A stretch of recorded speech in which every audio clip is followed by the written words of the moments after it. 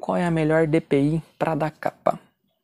Galera, eu vou mostrar para vocês aqui qual é a minha DPI, que mais para frente vocês podem usar isso como base para configurar a de vocês. Olha só.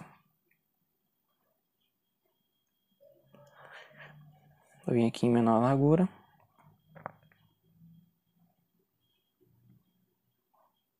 Ó. Hoje eu uso meu DPI em 600, galera, entendeu? Pra mim, eu acho que esse é o melhor DPI hoje, pra mim, do jeito que eu gosto de jogar. Mas se você achar que o DPI de 600 está muito alto, você pode ir abaixando ele de 50 e 50 para você ver, por exemplo, qual é a diferença. vou dar um exemplo aqui para vocês, ó. Eu vou abaixar o meu DPI para 320.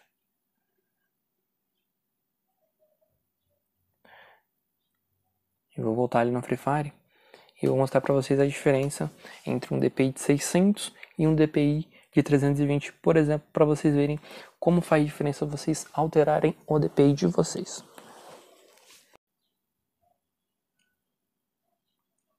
Olha só, galera. Às vezes, vocês olhando aqui no, no vídeo, talvez vocês não consigam perceber, mas ó. Vou mostrar pra vocês um 360 em 320 de DPI. Olha só. Tá aqui, ó. Certo? Um 360 eu tô pegando no meio da tela do meu celular e puxando até o final da tela para fazer esse 360, ó. Um 360 completo, certo? Normal. Ó.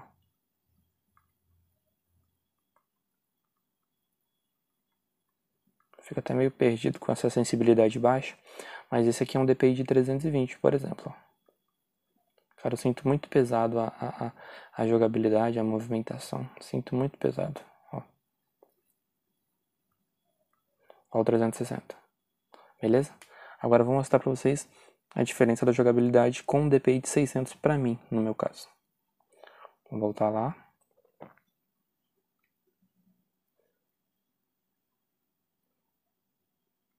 Menor largura. tamanho. Outra coisa, galera, toda vez que vocês forem mexer no DPI de vocês, vai diminuir totalmente tudo de vocês, ó, aplicativo, letra, ó. Então fique de olho aí quando vocês forem aumentar o DPI, que quanto maior o DPI de vocês, menor vai ficar a letra dos aplicativos que vocês vão usar, beleza?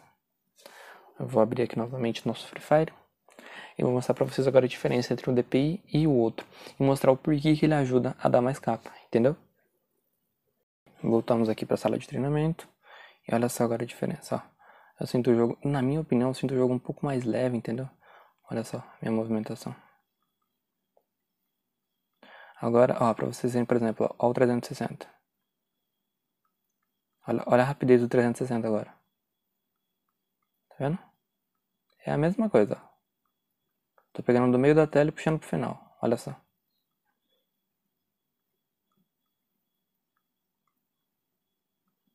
Entendeu, galera? Então, tipo assim, para vocês entenderem, todas as vezes que vocês não tiver, tiver tendo problema para subir capa, por exemplo, o que, que vocês podem fazer? Ó, vocês aumentou tudo aqui, ó. E o capa não tá chegando na cabeça do cara, tá grudando no peito ainda. Vocês podem aumentar a DPI de vocês para subir o capa mais. Agora, se vocês verem que o capa tá passando da cabeça, então vocês têm que diminuir a sensibilidade geral, entendeu? Aqui de vocês entendeu? Ou diminuir o DPI, se vocês mexerem com o DPI já, entendeu? Vocês têm que observar o que? Como quando vocês vão puxar a capa, se vocês conseguem encaixar o capa certinho, entendeu?